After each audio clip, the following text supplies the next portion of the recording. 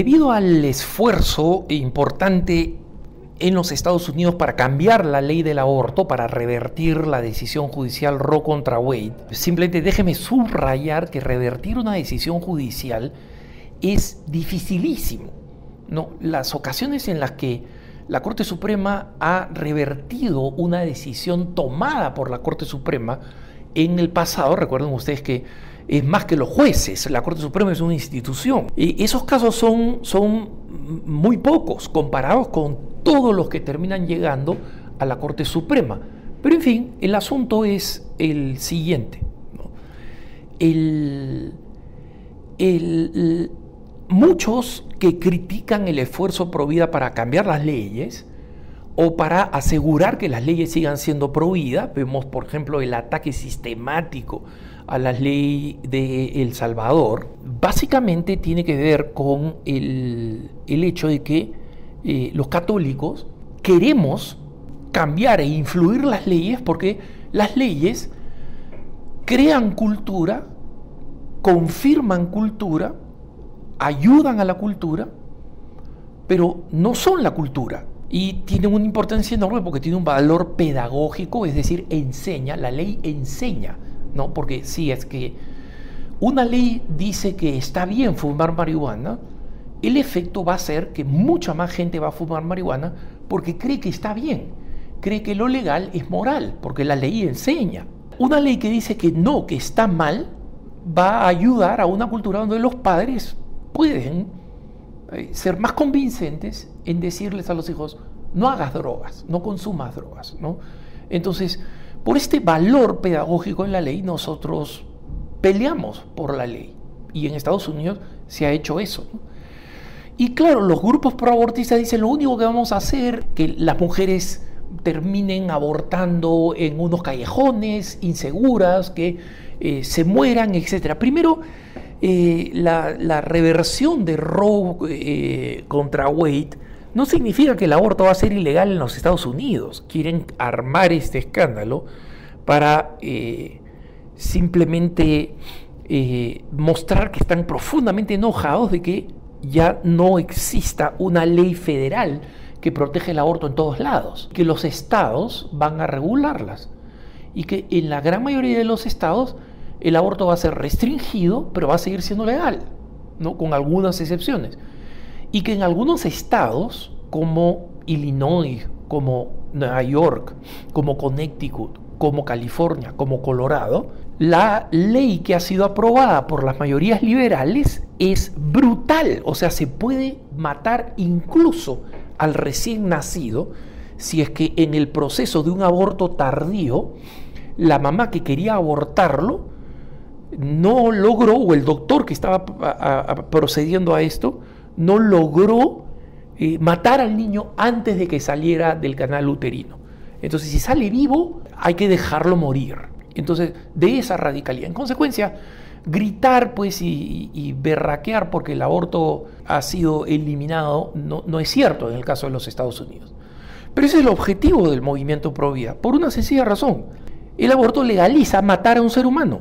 Entonces, es como si nosotros dijéramos, oye, mira, eh, los campos de concentración y las cámaras de gas no se deberían usar, ¿no? No se deberían usar. Pero deberían haber algunas excepciones. No, pues, matar a un ser humano es matar a un ser humano, ¿no? Eh, eh, y esto no se debe hacer. Claro, entendemos la lógica de las feministas. Las feministas dicen es que no es un ser humano, es un grupo de células, pero esas, esas, esas son afirmaciones ideológicas no científicas. La ciencia está del lado de la defensa de la vida. Pero así como efectivamente nosotros nos preocupamos por, eh, la ley, es cierto que los católicos tenemos que luchar sobre todo por una cultura de vida. Y una cultura de vida lo que va a hacer es que el aborto sea impensable y sea rechazado cultural y socialmente, como debe ser rechazado, por ser lo que es, un asesinato. Yo sé que esto ya es algo en lo que, eh, en lo que coincidimos y, todas las organizaciones pro que son acusadas de ser solamente pro parto, pro nacimiento y no de ser pro vidas, no. Eh, sabemos que esa es una muletilla pues, que usan las organizaciones eh, abortistas que ellas son las que no se preocupan por la mujer, ¿no? Las organizaciones pro vida tienen numerosos crisis de centro de, embarazo, esto lo he dicho en otras ocasiones. Bueno, las, las, organizaciones abortistas, Planned Parenthood, por ejemplo, que supuestamente se preocupan por la mujer, no, nos preocupamos por la mujer, nos preocupamos por la mujer. Muy bien, se preocupan por la mujer. Después de que abortan, o sea, después de que le dan el aborto, ¿qué hacen por ella? ¿Ustedes creen que, ustedes creen que alguna clínica abortista llama a sus clientes a decir, oye, ¿cómo te sientes? Oye, ¿necesitas apoyo psicológico y quieres algo? No, las mastican y las escupen como una goma de mascar.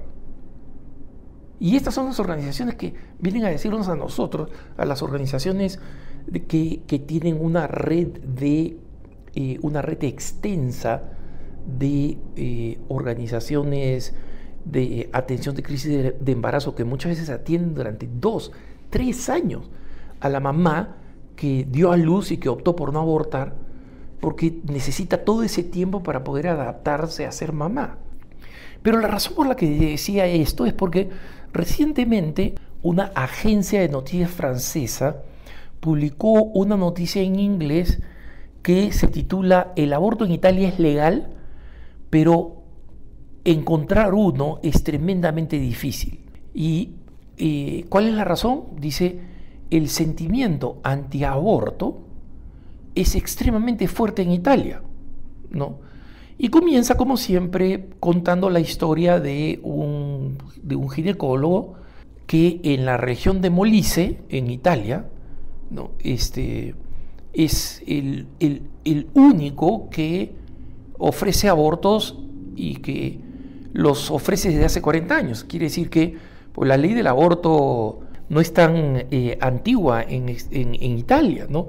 Se aceptó de una forma este, de una forma muy limitada, o sea, hasta los tres meses, o sea, hasta el primer trimestre, en 1978. Eh, ¿no?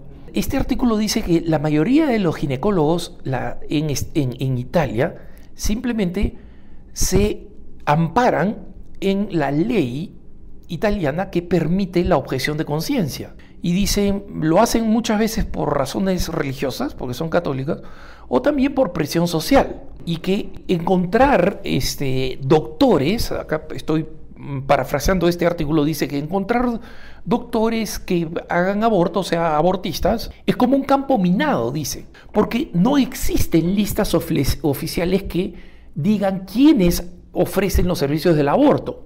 Y acá una activista del aborto eh, es mencionada en el artículo diciendo, una mujer que quiere el aborto, ¿no? Va a un hospital más o menos a ciega, porque no sabe si el doctor que está frente eh, a, ella lo hará o no, es decir, aceptar el aborto. Y miren ustedes estos números, ¿no? El 67% de los ginecólogos en Italia, tanto en ciudades como en áreas rurales, son objetores de conciencia de aborto según una, las, eh, cifras más recientes del Ministerio de Salud de Italia. Y este número pasa el 80% en 5 de las 20 regiones de Italia. Italia está dividida en 20 provincias. En 5 de ellas, los ginecólogos, más del 80% son objetores de conciencia. Entonces, la agencia France Press dice, Mira, algunos, algunos de estos doctores no los hacen por verdadera convicción, sino porque hay una presión social.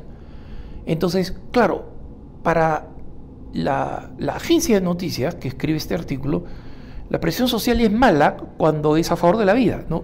Pero la presión social es simplemente consenso social, ¿no? Eh, no, la gente está de acuerdo, la mayoría está de acuerdo, cuando es a favor del aborto, ¿no? Pero eso está muy bien, porque eso demuestra que la cultura sigue siendo una cultura de la vida.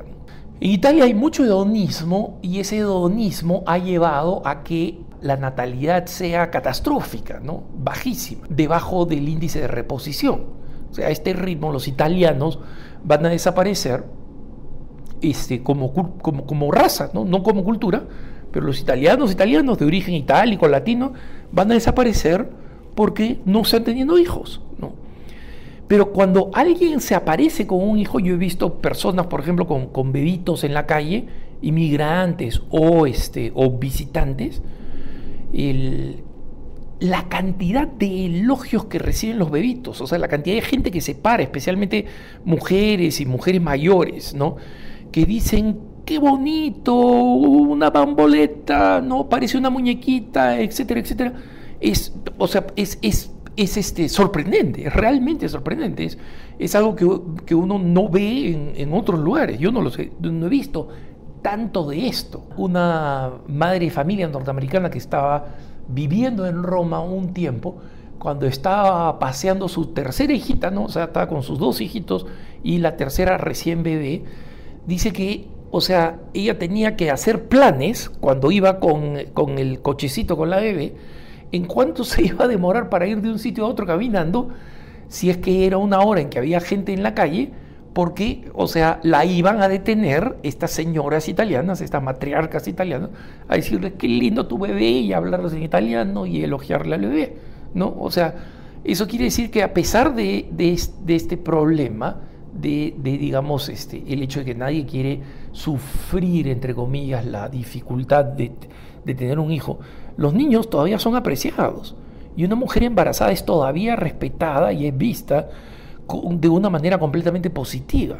El asunto es que mm, existe esta, esta cultura que se opone a que una mujer mate a su bebé. La agencia de noticias entrevista a una, a una mujer que buscó un aborto, una italiana que buscó un aborto y que le costó este, mucho conseguirlo, tuvo que llamar a 10 hospitales en Roma y otras ciudades y que finalmente una organización feminista le ayudó a conseguir el aborto. Ella se queja a la agencia de noticias y dice, yo pensé que ir a un hospital sería fácil porque el aborto es legal, pero no lo fue.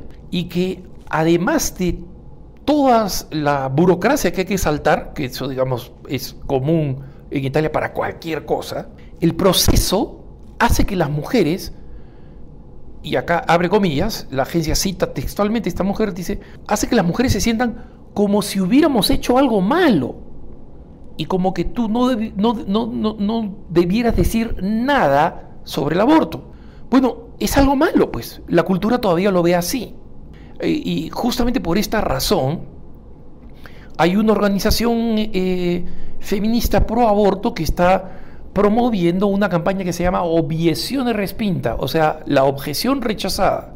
Entonces, el, eh, el, asunto es que el artículo termina reconociendo la importancia de la Iglesia Católica es fundamental. Y el, el artículo termina diciendo lo siguiente, ¿no? Dice, los objetores de conciencia dicen que su fe es la que los lleva a rechazar eh, la realización de abortos. Y la Iglesia Católica es completamente inflexible en este asunto, con el Papa Francisco llamándolo asesinato. Efectivamente, ¿no?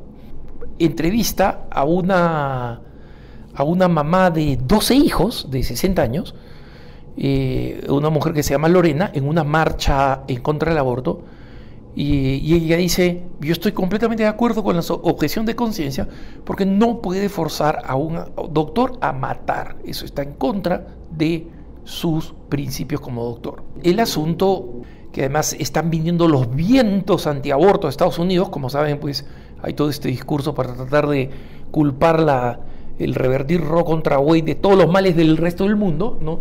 Y que esos vientos que están llegando son vientos entre comillas conservadores y antiaborto, entonces que va a ser muy difícil hacer pasar esta ley que quiere acabar con el derecho a la objeción de conciencia.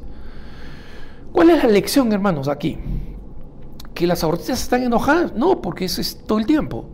La lección es que efectivamente tenemos que seguir trabajando por una cultura que ama a los bebés, que respeta a las mujeres embarazadas, que respete el embarazo, que sabe que eso es ya un ser humano que ha sido recibido por la familia humana, ¿no? Y asegurarnos que la ley y la cultura, cuando se trata de la defensa de la vida, van de la mano. Que tengas un buen día.